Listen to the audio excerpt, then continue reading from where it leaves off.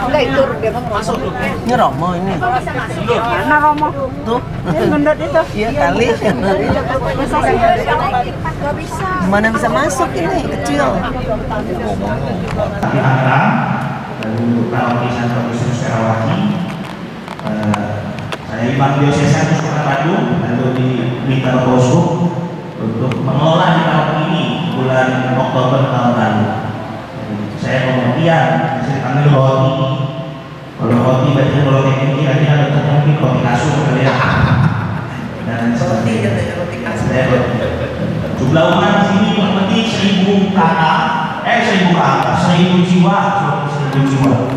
Ada dua stasi stasi Losari dan stasi Batangan di sini budaya Sunda di stasi yang satu budaya agak Jawa-Jawaan Jawa Pantura lalu stasi satunya masih budaya Sunda yang apa-apa acara mengkonon jadi begitu. Terima kasih sudah datang dan berkunjung eh, Pak Oki kami. Di sini ada Pak Oki juga berdampingan dengan sekolah mulai dari TK sampai SMP. Maka kalau pagi sampai sore hari itu tidak memasti selalu apa namanya eh, ramai anak-anak sekolah dan sebagainya. Di belakang juga ada Gua Maria tempat berdoa rumah devosi juga akan kita ke sana. Nanti kita makan siang sana mungkin sekilas itu eh, perkenalan saya. Saya di sini berdua dengan kelompok Panji. Jadi eh, dengan kelompok Panji berdua dari vikarisnya kelompok Panji.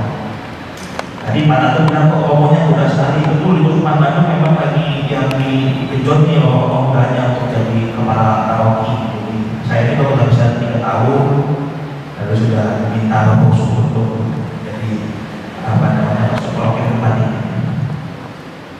Jadi itu. Lalu kalau apa mau ke toilet di belakang sana ada pintu kecil itu nanti ada toilet ada satu lalu kalau keluar lagi di belakang lagi itu ada toilet yang laki-laki bisa dipakai. Begitu kira-kira pada tuh dari saya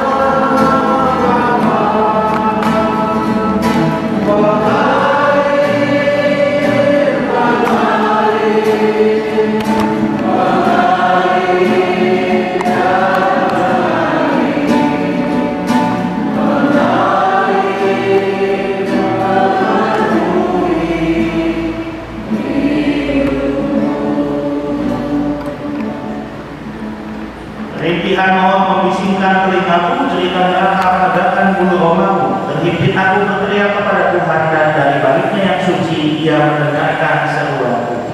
Dalam nama Bapa dan Putra dan Roh Kudus. Amin. Rahmat dan kasih dari Allah Bapa dan dari Tuhan kita Yesus Kristus bersamamu dan bersama.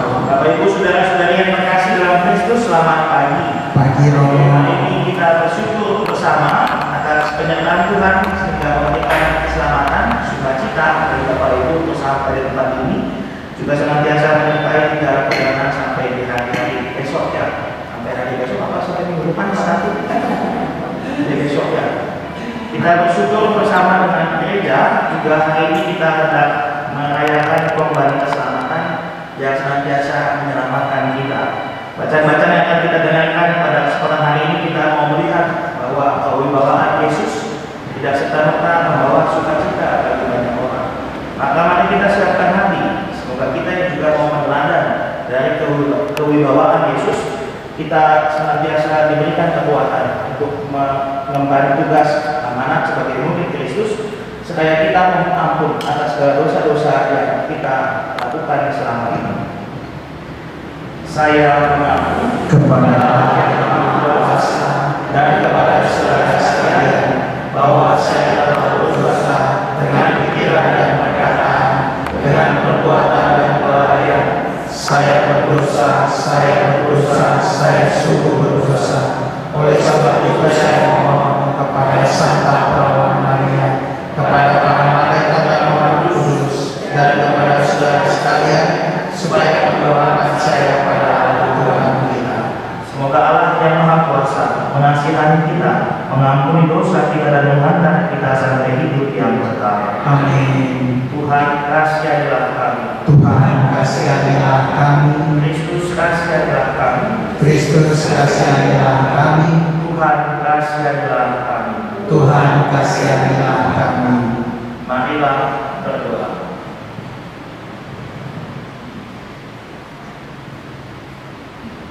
Allah Bapa sumber pengharapan Barang siapa berharap kepadamu akan dipermalukan Kami mohon Semoga kami dapat mengerti bahwa dalam penderitaan dan penghinaan Engkau tetaplah Allah Yang murah hati dan setia akan janjimu Demi Yesus Kristus putramu Tuhan dan pengantara kami Yang hidup bersama dengan Engkau dalam kesatuan Roh Kudus dan sepanjang segala masa Amin. Kita dengarkan firman Tuhan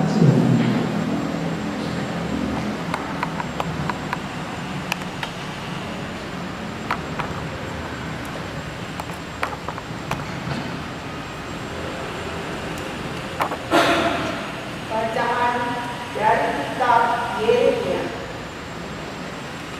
Nabi berkata, Tuhan memberitahukan ancaman-ancaman yang dirancang orang terhadapku. Maka aku mengetahuinya. Pada waktu itu engkau ya Tuhan memperlihatkan ancaman mereka kepadaku. Dulunya aku seperti anak domba jinak yang dibawa untuk disembelih. Aku tidak tahu bahwa mereka mengadakan persepakatan jahat terhadap aku dengan berkata, Marilah kita binasakan pohon ini dengan buah-buahnya. Marilah kita melenyapkannya dari negeri orang-orang yang hidup namanya tidak diingat orang lain. Tetapi Tuhan semesta alam yang menghakimi dengan adil, yang menguji batin dan hati. Dialah aku melihat pembalasanmu terhadap mereka. Sebab kepada mula kuserahkan perkara. Demikianlah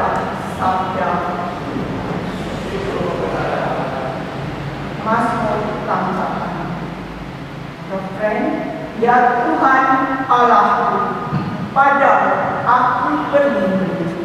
Ya Tuhan Allahku, pada aku berlindung. Ya Tuhan Allahku, padamu aku berlindung. Selamatkanlah aku dari semua orang yang mengejar aku dan lepaskanlah aku, supaya jangan mereka seperti singa menerkam aku dan menyeret tidak ada yang melepaskan. Ya Ya Tuhan Allahku, padamu aku berlindung. Hakimilah aku Tuhan, apakah aku benar dan apakah aku tulus ikhlas. Biarlah berakhir kejahatan orang fasik, tetapi teguhkanlah orang yang benar. Engkau yang menguji hati dan batin orang, ya Allah. Ya Tuhan Allahku, padamu aku berlindung. Perisai adalah Allah yang menyelamatkan orang-orang yang tulus hati. Allah adalah hakim yang adil dan Allah yang murka setiap saat. Ya Tuhan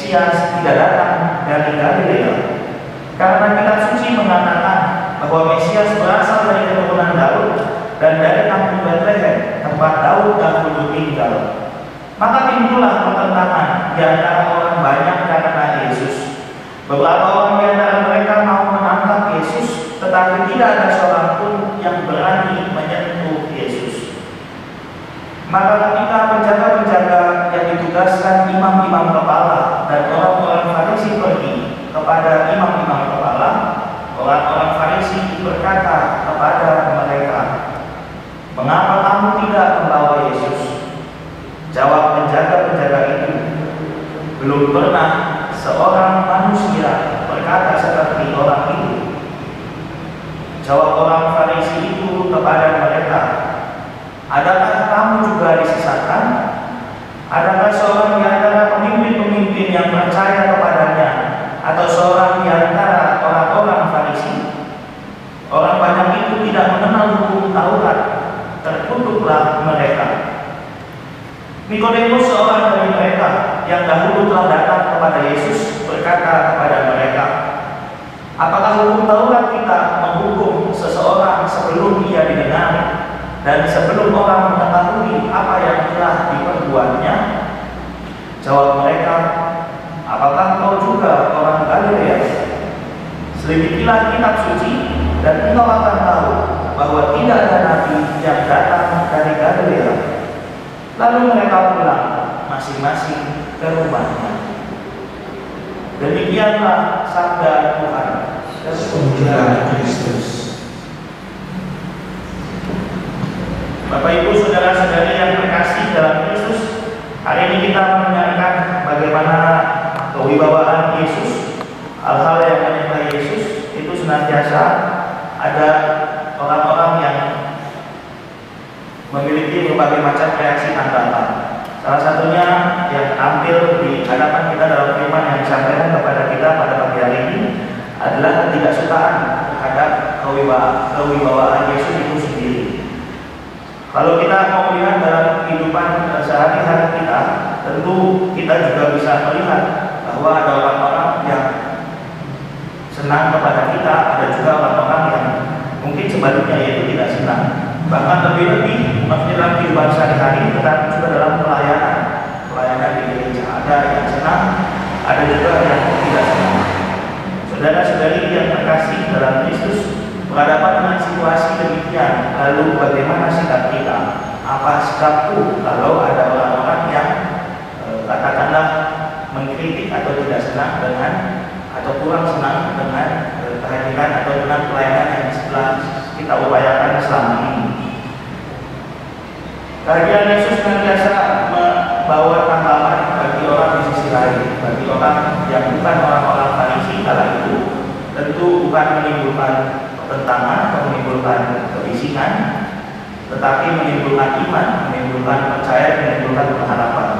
Ini juga yang diharapkan hadir dalam kehidupan kita, bahwa kita tergerak untuk mau melayani bukan hanya gereja, tetapi melayani kehidupan sebagai istri, sebagai suami, sebagai orang tua, sebagai anak.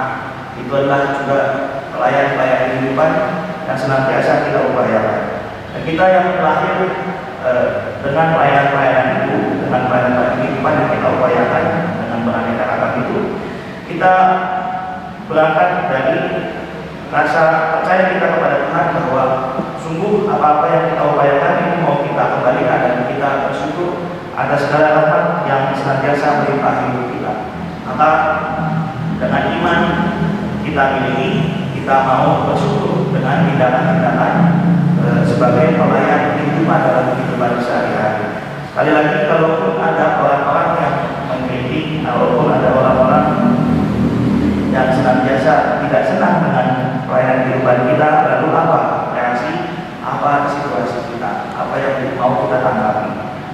Iman melahirkan senantiasa perbuatan-perbuatan baik, perbuatan-perbuatan yang senantiasa menuntut kita pada kehendak Allah. Maka kalau sejatinya kalau pelayanan kehidupan kita berangkat dari iman, maka sekalipun ada orang yang mengkritik, kita pun akan senantiasa mau bertindak seturut dengan teladan Yesus yaitu soal kasih dan juga soal sabar. Bahwa mungkin memang ada hal-hal yang senantiasa perlu kita perbaiki dari waktu ke waktu. Bahwa mungkin memang ada saja orang-orang yang mungkin diri dan lain sebagainya dan memang perlu kita fokus untuk dijauhkan hari ini sebagai seorang beriman kita diajak untuk sungguh-sungguh melihat fokus kita. Bukan lagi pada pelayanannya tapi pada imannya yaitu bahwa iman bukanlah pertama-tama hasil dari e, soal keimanan kita tetapi justru merupakan buah-buah dari keimanan kita. Kita diajak untuk semakin menjadi pribadi-pribadi yang beriman.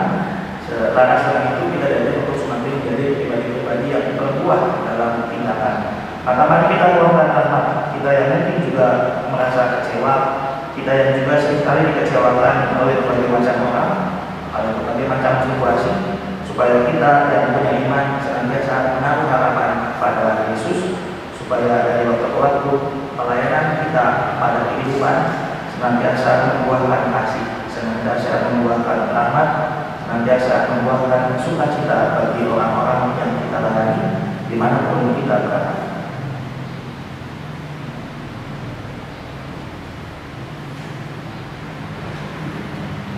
Kita lanjutkan dengan persiapan persembahan. Sebagai lagu persembahan kita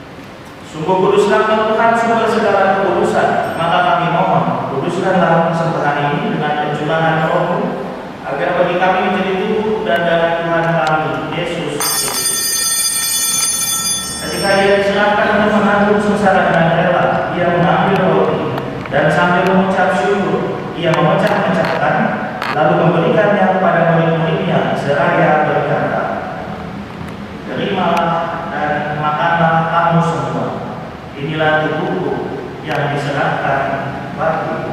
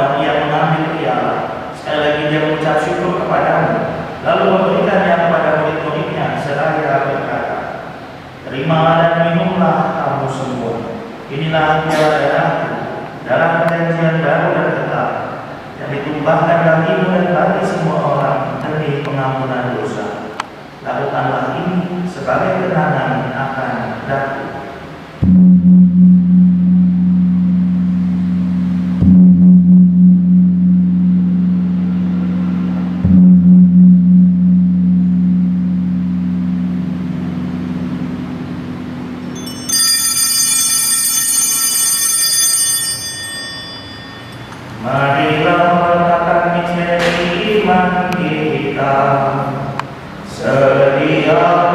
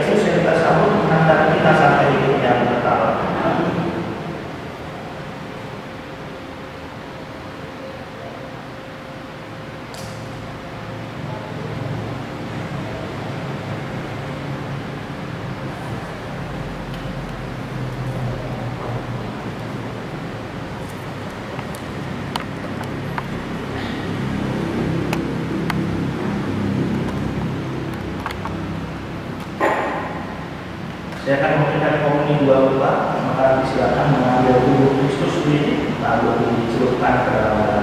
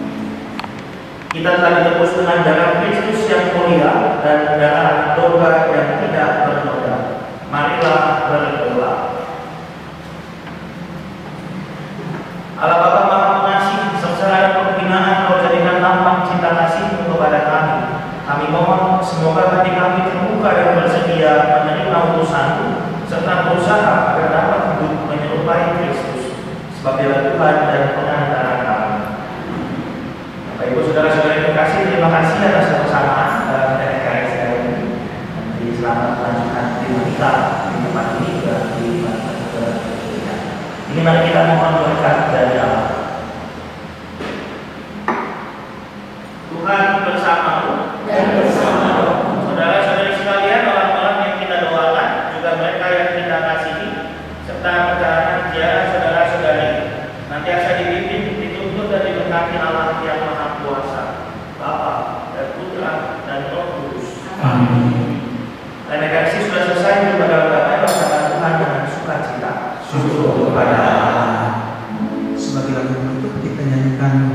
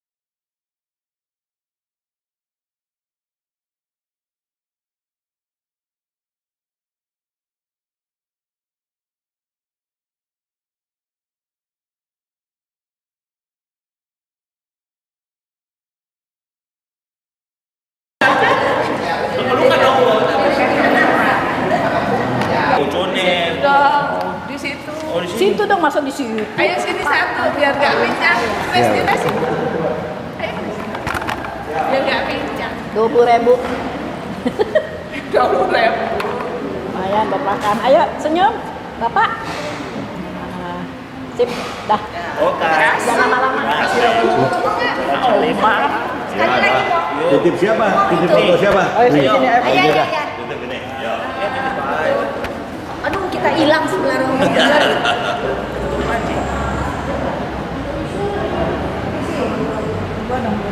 Yuk, yuk. Ayo Pak. Udah. Udah, udah. Udah. Ya. Oh, ya. Ayo. Satu lagi Romo. Satu lagi Romo. Tiga ya.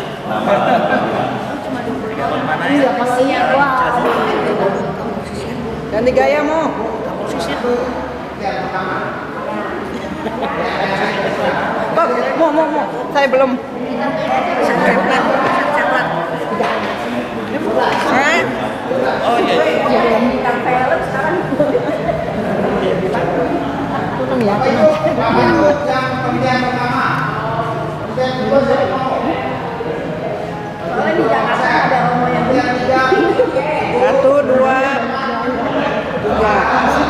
Oke. Tunggu.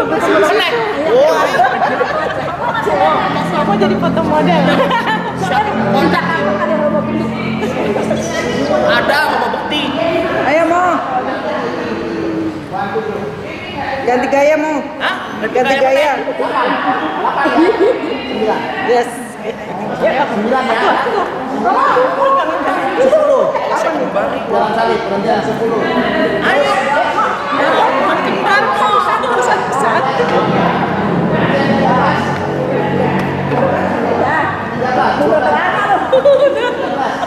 Baju kembar, bajunya doang kembar. Oke. Thank you Oma. Eh Oma.